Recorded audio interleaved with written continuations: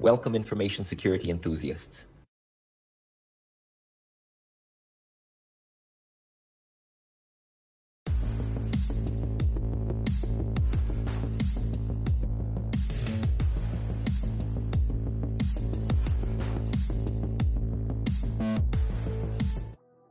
Today, we will be diving into an exciting and often overlooked topic in information security blogs and videos offensive security with a focus on turnstiles used in physical access control systems. Throughout this series, we plan to share project details and provide insights from internal Proud to be Pride presentations. In this chapter, we will dedicate the next few minutes to an immersion in facial recognition aspects and the physical security of turnstiles.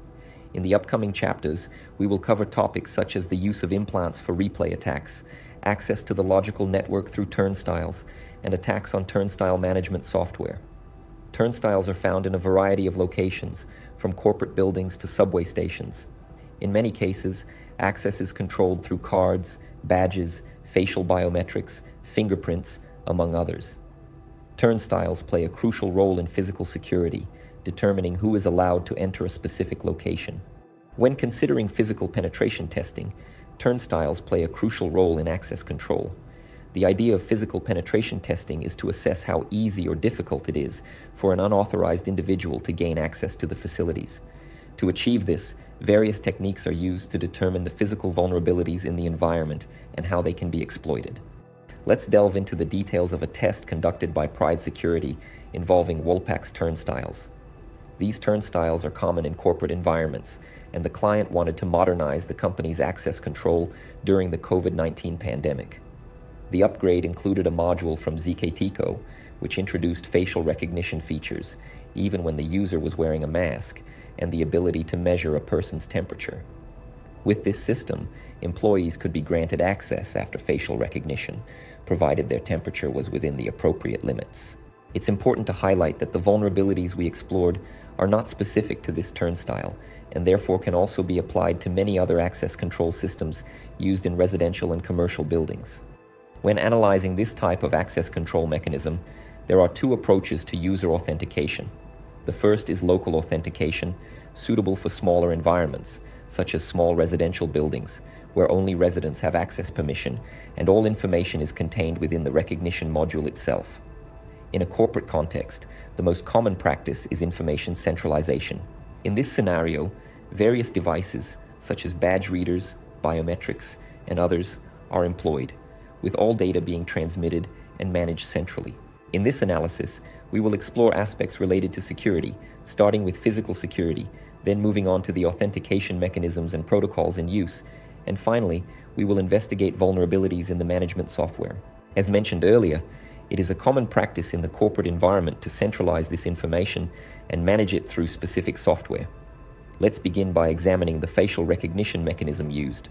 Before we proceed, it's relevant to highlight that the client had informed us that the supplier had assured the performance of numerous tests on this device with the objective of ensuring the presence of effective security mechanisms to prevent attacks, such as the reuse of photos, videos, and other possible attack vectors.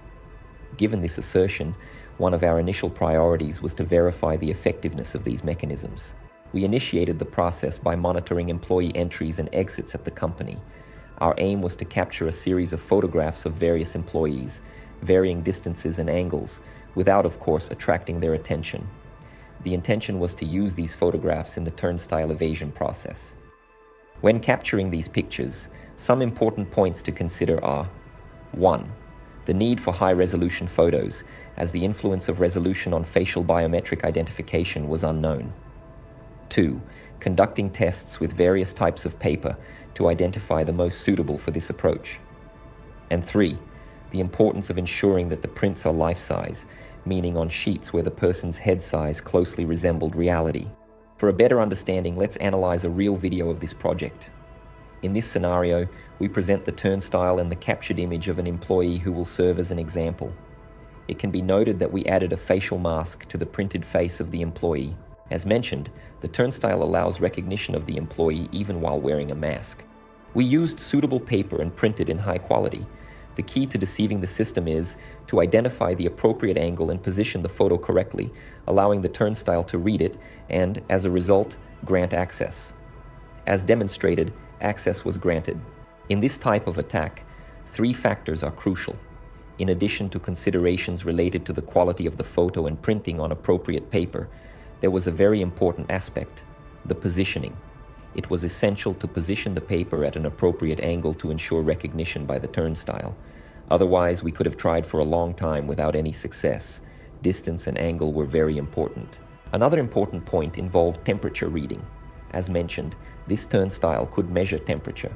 For example, if facial recognition was successful but the user had a fever, their access could be denied, or their manager could be informed.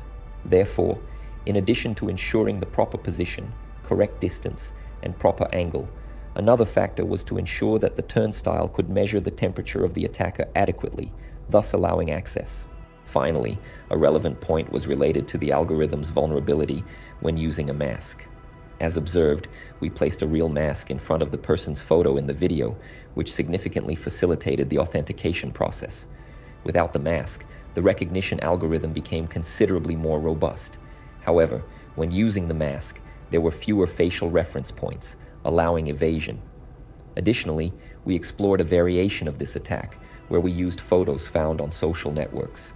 This means that an attacker does not need to monitor the entry and exit of employees, avoiding unnecessary exposure in certain situations. Furthermore, we wanted to validate the relevance of photo quality. After all, on social networks, the quality of images is generally not as good. Initially, our approach involved searching for employees on LinkedIn, for example, individuals who work for this company. We used Pride Security's LinkedIn as an example to maintain the confidentiality of the hiring company. After locating the employees working for the client, our next step was to track their accounts on other social networking platforms, such as Facebook and Instagram. Once we found a photo that we believed that had an acceptable angle and image quality, we proceeded with the execution of the attack. As we can see in the video, we presented a social network profile of one of these employees, locating a photo that we believed had the appropriate quality and angle. However, the individual was accompanied by a child, which led us to blur the image on the phone. We then printed the photo in high resolution on suitable paper, like the previous video. It's worth noting that we applied a paint to simulate a mask over the mouth to test the facial recognition's robustness. This mask was painted with a pen commonly used in everyday life. To our surprise, the system recognized the identity in the same way. It's important to emphasize that other factors, such as temperature analysis, were also considered. Just out of curiosity, we positioned the photo at an angle where the camera read the face, while the sensor, located above on the turnstile, was able to read the attacker's forehead's temperature instead of the paper. In this way, we were able to demonstrate that the facial recognition algorithm is not robust, especially when people wear masks or use photos with painted masks. As previously mentioned, this attack is not exclusive to turnstiles. Does the company you work for have doors controlled with facial recognition that protect sensitive information? How secure are these mechanisms? Our goal is just to illustrate and explain the attack. In real cases, the attack can be carried out more discreetly, such as printing out the person's photo and sticking it to a book that you carry in your hands, or printing the person's photo on the t-shirt you are wearing. The sky's the limit. Can you carry out one of these attacks discreetly in real life? Send a video to Pride Security demonstrating your successful attack discreetly and win an exclusive Pride's t-shirt and be part of our next video. Yes, we will put your video in the next edition if you agree. No need to say that you must have authorization to carry out the attack, so do not expect cigarette packets to be delivered to anyone who gets arrested. So far, we've discussed attacks on facial recognition mechanisms. However, when examining the turnstile shown in the videos, we noticed that there is a badge reader's device.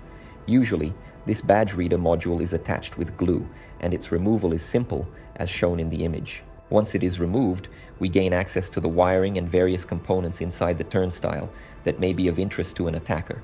For example, this could allow the insertion of an implant, which in this case would be difficult to detect since it is not externally exposed. When we address the issue of unauthorized external access to the card reader's module, we enter the realm of physical security. It's worth noting that the turnstile is fitted with a lock to restrict access to its internal parts. Therefore, in addition to controlling access to specific areas within the company, the turnstile also has its own layer of physical security. This is an area of concern because a failure in this mechanism could permit a series of attacks. Let's analyze how we can attack this layer of security that restricts access to the internal area of the turnstile. One of the methods we use to open this turnstile without authorization is known as bump attack or lock bumping. This type of attack is quite effective on a wide range of locks that use pins. We used keys called bump keys for this type of attack, as shown in the video. Here are some examples of those keys. Let's understand how this type of lock works. When we take the correct key for the lock, we can see that they have teeth. These teeth, when inserted into the cylinder, align the pins, as shown in the animation. When the teeth have the correct size, the key goes into the lock, and then the pins are moved in the right position, allowing us to rotate the cylinder, for example, opening or closing the lock. The bump key is nothing more than a key following the same standard as the lock we are attacking. The difference is that it has cuts at the minimum level allowed by the standard, meaning it has teeth at the lowest allowable height. The distance between the teeth is maintained according to the standard. The principle of the bump key is that it goes into the lock but does not correctly align the pins due to the teeth being at the minimum height. In other words, these teeth are shorter and do not create the necessary contact to align the lock's pins correctly. However, when hitting the key, this impact causes the pins to move and for a fraction of a second, they can align inside the cylinder, allowing the lock to open. Let's watch a video that will make understanding easier. Here, we have the Woolpacks turnstile. The customer is using the original key to open it, to demonstrate that the lock is working properly. What we find inside is interesting. We can identify Ethernet cables and other data wires. The customer locks the turnstile, and we show a homemade bump key. The key below is the bump key or 999 key. Additionally, we use a bump ring. This is not essential, but speeds up the attack, eliminating the need to reset the key frequently during the process. At this point, the customer tries to open the lock with the bump key. As you can see, it was not possible, meaning it is not a valid key for this lock. Now let's observe the attack in action. We are using a small hammer to create an impact on the key. As we can observe, the process of opening the lock with the bump key is very fast. These attacks are very interesting and swift. However, they are somewhat noisy, which, depending on the environment, can attract unwanted attention, and this makes the option unfeasible in some, if not most, cases. So, we might wonder how one can open the same lock without making a noise. We have observed a security design problem in this turnstile.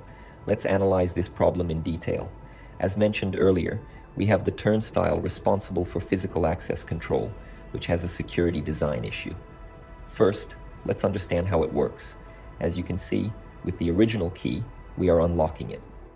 On the door, there is a kind of latch that is fastened by a hook, which is located on the inside of the turnstile. When we insert the appropriate key and turn the cylinder, it moves an iron bar responsible for shifting the hook that locks the door, either up or down, allowing the door to be closed or opened. We can see that this lever that locks the mechanism is located exactly on the door's junction, presenting a small opening that provides access to this lever when the door is closed. Let's close it for a better view. As you can see, there is a small opening. By inserting a thin, solid object, it is possible to manipulate this lever and open the door without authorization in an extremely fast and silent manner as demonstrated in the video. Today, we have explored the security of an important device present in our daily lives, but often underestimated, the turnstile. We have identified vulnerabilities in the facial biometric system, exploring techniques used by attackers to bypass these mechanisms and gain unauthorized access to physical environments. We have also observed that a turnstile has its own layer of physical security to restrict access to its internal environment, illustrated lock bumping attacks, and a security design issue that facilitates its opening. In the next episode, we will dive deeper, exploring the operation of implants and replay attacks. The journey into turnstile security continues. Stay tuned.